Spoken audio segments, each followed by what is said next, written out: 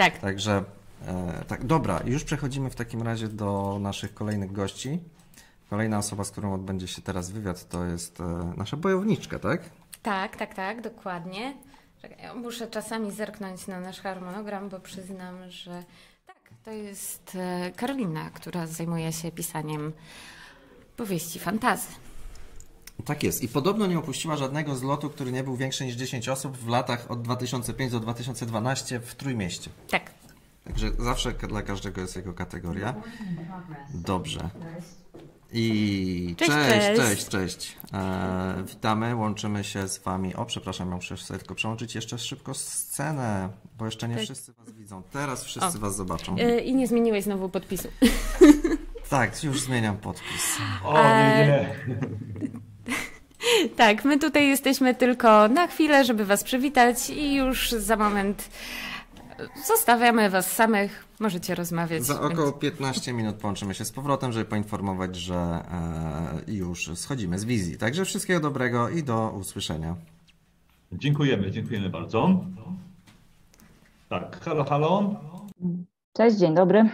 Tak, jesteśmy już na wizji. Dzień dobry. E, W kolejnej rozmowie firmy badań rynku i opinii SW Research oraz, oraz portalu Joe Monster rozmawiamy z pisarką, z panią Karoliną Żuk-Wieczorkiewicz. Witam cię, Kasia. Dziękuję, że zgodziłaś się na rozmowę.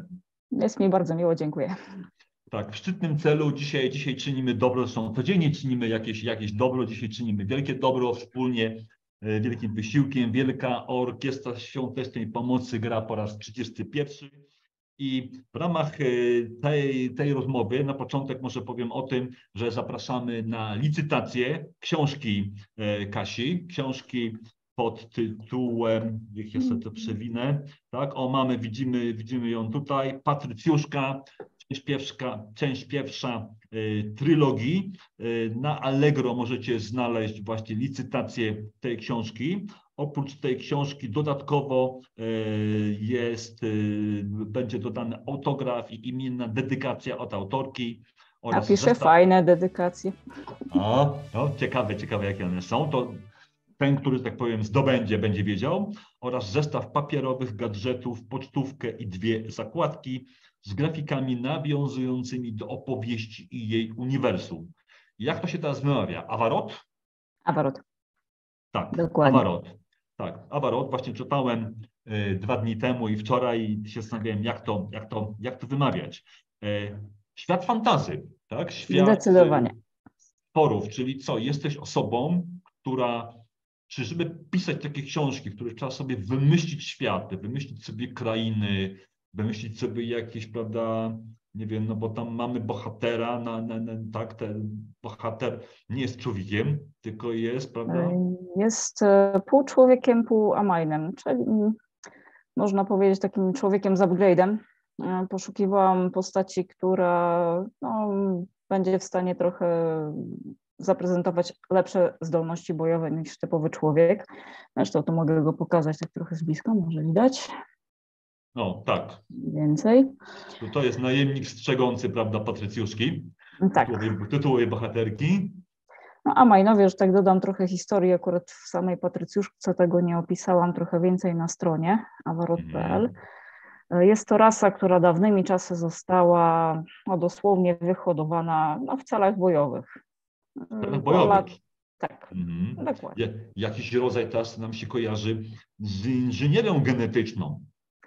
Myślę, że jest to całkiem dobry trop, chociaż to jednak fantazja, nie science fiction, więc tak trzymajmy się interwencji Jasne. bliższych magii niż y, inżynierii. Ja, jasne. Jak to jest? Czy, czy pisząc tego typu literaturę, czy to jest tak, że, że pisarz się w ten sposób, w jaki trochę zanurza się sam prywatnie sobie taki świat tworzy się w nim trochę zanurza?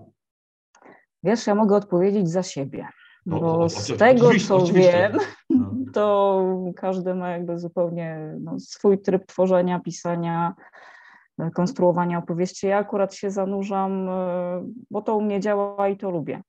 Zresztą świat, który przedstawiam w Patrycjuszce, zaczął powstawać e, no, prawie 30 lat temu, można powiedzieć, chociaż wtedy wyglądał zupełnie, zupełnie inaczej. Aha.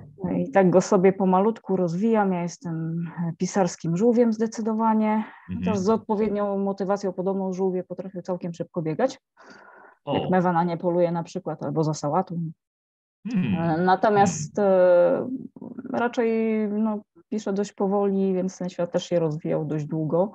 I tak e, zawsze mówię, że bardziej go odkrywam niż tworzę, czyli tak trochę jak archeolog. No, coś widzę, ale coś jest jeszcze zakopane, no to odkopuję. O, no właśnie, no przecież tak właśnie było. I to, Aha, czyli, to jest czyli... akurat fajne uczucie. To, to, Natomiast ciekawe. wiem, że niektórzy, niektórzy pewnie zmyliby mi głowę, no bo, bo należałoby podejść profesjonalnie, zaprojektować tak od podstawcy, jak to te cząstki atomowe między sobą tam Aha łączą być może. No, ja tworzę tak troszeczkę na bazie kontrolowanego chaosu. I Aha, u mnie działa, u kogoś innego nie musi. Jasne, jasne. A czym są żmijuny? Żmijuny, że tak może tu sięgnę, przedstawię, to pani Dziubkowa. Żmin, to, e, żmijuny to są e, skrzydlate gady, również e, stworzone przez e, wymarłą niegdyś rasę tak zwanych e, herosów, obecnie nazywaną, no, znaczy obecnie w czasach Patrycjuszki były mhm. takie dwa ludy nazywane wspólnie herosami, właśnie oni wyhodowali Amajnów i wyhodowali żmijuny, czyli takie gadziny, które też w zasadzie a wojen wtedy było sporo, więc gady też miały zadania bojowe. Mm, żmijun, który towarzyszy Avero, najemnikowi, mm, E, jest jego tak z jednej strony towarzyszem, pupilkiem, a z drugiej strony no, pomaga w walce. Mm, no, potrzebowałam czynnika, który znów będzie o tych możliwościach bojowych. No, uzasadni to, że jeden facet jest w stanie jednak rozwalić 10 osób. Mówię, nie, no, samemu byłoby mu trudno, to wymyśliłam zwierzaka. No i zwierzak okazuje się ulubionym bohaterem większości czytelników. Tak, no, no, no, też moją uwagę zwrócił właśnie ciekawa koncepcja takiej i, i sama nazwa, tak, i, i sama postać. E, istotnie, czyli mówisz, że ten świat, on z ciebie, on w tobie tak rośnie, wydobywa się z ciebie, tak? Ten czas po prostu, tak, kiedy chyba myślisz. można tak powiedzieć. Mam wrażenie, że ten świat gdzieś w jakiejś innej rzeczywistości równoległej sobie istnieje i czasami daje się trochę poznać i staram się to no, przedstawić światu powieści, które się mi dzieją, mam nadzieję, zainteresować czytelników. A czy, czy to jest tak, bo ja kiedyś miałem dawno temu, pewnie wielu miało ludzi pomysł, żeby napisać książkę. Dla mnie na przykład ogromną trudnością, bo to, że jestem w stanie napisać pojedyncze historyjki, które są bardziej opowiadaniem, to jest, ale połączyć to taką dużą narrację, w której jest wątków wiele, wiele, wiele postaci, trzeba pamiętać, co ktoś powiedział, co ktoś zrobił, żeby potem to było spójne, tak? To no nie każdy jest w stanie potem książkę napisać. To ewentualnie jakie cechy, co pomaga człowiekowi, twoim zdaniem, jako, pisarki, mm. jak, jako pisarki, napisać książkę? tak myślę, że chyba najbardziej wytrwałość. Natomiast co do metody, to mówię, każdy pisarz ma swoją. Okay. Z tego co wiem, no, są, są tacy, którzy potrzebują, jakby zanim zasiądą do pisania, mieć rozpisane wszystko co do sceny, co do dialogu. Inni Cały idą kompletnie. Plan zrobiony, tak? Zrobi, no, wiele osób tworzy plan często bardzo szczegółowy. Mhm. Są osoby, które idą w zasadzie kompletnie na żywioł. Zdaje się, że Graham Masterton twierdził, że on nawet jak zaczyna pisać, to nawet nie zna zakończenia, bo by się nudził podczas pisania. Okay. Więc u niego to się tworzy w trakcie. U mnie to tak coś pomiędzy. Najczęściej zaczyna się od jakiegoś pomysłu. Znaczy, ja to nazywam patchworkiem. Mam pomysł, nie wiem, na postać, na scenę, tworzę scenę, kolejną scenę, a potem te wszystkie łatki łatam, patrzę na całość i patrzę, czego brakuje albo co wywalić.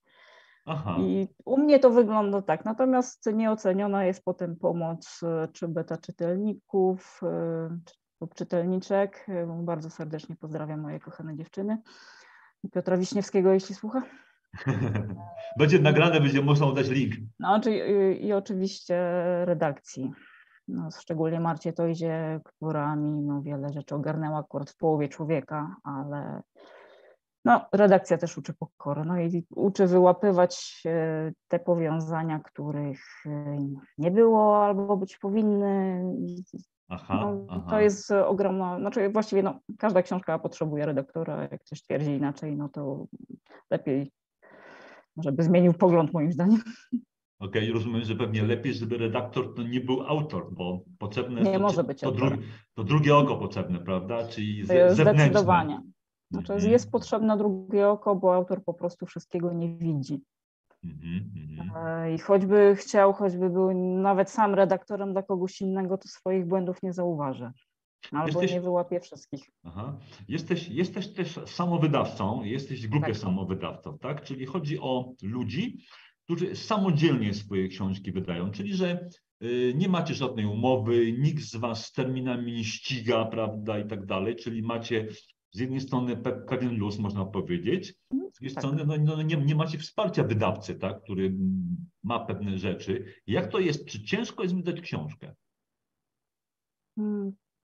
Kinga Raku, której byłam na warsztacie self-publishing, powiedziała kiedyś tak, e, self-publishing jest prosty, ale nie jest łatwy. I to chyba y, najlepiej oddaje mhm, istotę mhm. tego sposobu wydawania. To jest po prostu pewna ścieżka wydawania książek, y, która w zasadzie no, w takiej formie, jak powinna być, zawiera wszystkie elementy wydawania tradycyjnego, czyli procesu wydawniczego, czyli redakcję, nie przez autora, no. E, korektę, skład łamanie, projekt okładki, no wszystko to, co dzieje się w wydawnictwie, z tym, że jakby całym tym procesem zarządza autor. Jeżeli sam nie potrafi zrobić pewnych rzeczy, na przykład, no ja rysuję, więc zrobiłam ilustrację do książki, zaprojektowałam e, okładkę, zrobiłam skład, bo to potrafię technicznie. Ale mhm, jeżeli mhm. autor nie ma tych umiejętności, no to, to musi znaleźć osobę, która po prostu zrobił to dla niego, zleca e, taką pracę. Tak samo jak robi wydawnictwo, czyli self-publishing w uproszczeniu polega na tym, że autor staje się jednoosobowym wydawnictwem. Mhm, I to, jaką książkę wypuści, no to już jest jego marka tak naprawdę.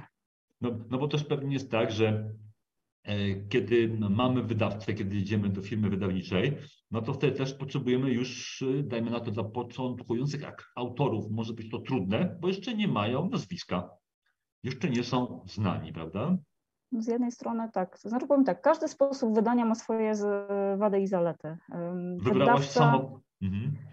Wybrałam samo wydanie, ale to też nie była decyzja taka od razu, no, bo rozważałam, czy wysłać propozycję wydawniczą do wydawcy, czy wydać samodzielnie. O tym, znaczy przeciw temu sposobowi było to, że nie czułam się zupełnie przedsiębiorcą, a niestety autor wydający niezależnie musi być trochę przedsiębiorcą, przynajmniej Właśnie, tak trzeba, trzeba być trochę człowiekiem orkiestrą tak naprawdę, tak, bo trzeba. Mówimy, o, mówimy o korekcie, mówimy o składzie, o grafice, tak? Dystrybucji. Znaczy, albo trzeba za to zapłacić, no za redakcję tu powtarzam, ale do znudzenia może, ale redakcji korekty autor sobie sam nie zrobi, nie powinien. Właśnie. E, natomiast e, chodzi też o zarządzanie całym procesem, co wymaga naprawdę no raz, że dobrej organizacji czasu, znalezienia na to też energii, samozaparcia. No, jest no, potrzebne ogromne samozaparcie. Jakby tym czynnikiem, który zdecydował o wyborze tej drogi, było to, że no po pierwsze chciałam wydać książkę całkowicie według własnego projektu i uznałam, że wydawca niekoniecznie mi to zapewni, a ja miałam swój pomysł, chciałam no zrobić od A do Z. No i druga rzecz, że umiem wiele rzeczy zrobić samodzielnie, to co normalnie się zleca, czyli umiem zrobić ilustrację, skład, zaprojektować okładkę, przygotować pliki do druku. O, świetnie, czyli, czyli też pewne kompetencje, umiejętności posiadasz. A jakie plany wydawnicze, publikacyjne na ten 2023 rok? Czego mogą się ewentualnie spodziewać, jeżeli możesz mówić oczywiście, Ależ oczywiście. nowego twoi czytelnicy i fani? Moi czytelnicy, fani e, mogą się spodziewać drugiego tomu Patrycjuszki. Dziś przeczytałam opinię, że zrobiłam straszną krzywdę czytelnikom, że muszą czekać na drugi tom. Więc w tym roku już będzie. Natomiast jeszcze trochę pracy, domknięcie tekstu, redakcja, reszta procesu. Mam nadzieję, że uda się latem, najpóźniej we wrześniu. Chciałabym jeszcze napisać jedno opowiadanie, ale to po kolei. Rozumiem, że ono, ono, ono tam swoją, swoim trybem rośnie, tyłkuje, pączkuje, zmienia się i tak dalej, tak? No, jest zaczęte, mam końcówkę, jeszcze cały środek. Także do, do opowiadania jeszcze trochę, natomiast no, priorytetem jest jednak drugi tom. Zależy mi, żeby go zamknąć, zamknąć tekst y, i doprowadzić do wydania. Mhm. Także taki plan na ten rok. Jasne, no, dzięki czyli... moim patronkom mam nadzieję, że się uda. Oby, oby tych patronów, patronek przybywało. Czyli, czyli co, powiedziałeś patronek, czyli są, są to bardziej tanie Na razie e, w większości tak, e, na Patronite, e, do którego zapraszam, jeżeli ktoś jest zainteresowany oczywiście. Tak, polecamy. Mam, mam w tej chwili 11 cudownych dziewczyn, same kobiety, więc mówię patronek z premedytacją, to są same Aha. dziewczyny na razie. Pozdrawiam Was serdecznie.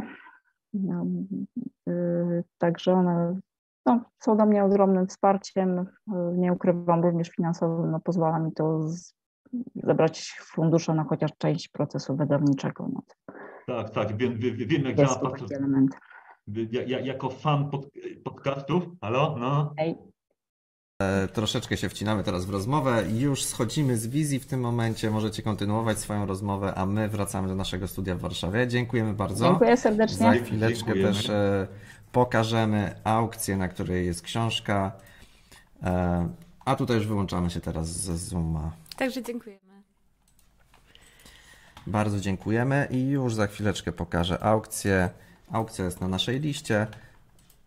O, tak, już ją widzimy. E, I w tym momencie e, licytują cztery osoby na kwotę 92 zł. Mamy nadzieję, że ta kwota jeszcze wzrośnie. Tak, zdecydowanie tak. Tym bardziej, że tutaj macie um, autograf i imienną dedykację i zestaw papierowych gadżetów, pocztówkę, zakładki e, z grafikami i tak dalej. Także ja myślę, że ja w tej chwili zrobię tutaj 100 i e... zobaczymy. No, a przyznam Wam się, że y, książka musi być niesamowicie ciekawa i wciągająca, ponieważ Edek, przygotowując się do wywiadu, wczoraj przeczytał, no, pochłonął kawałek tej książki momentalnie i mówił, że nie wiedział kiedy. No, także, e, także to jest e, ważna informacja. Za chwileczkę będziemy się łączyć też z Topkarem w Kielcach.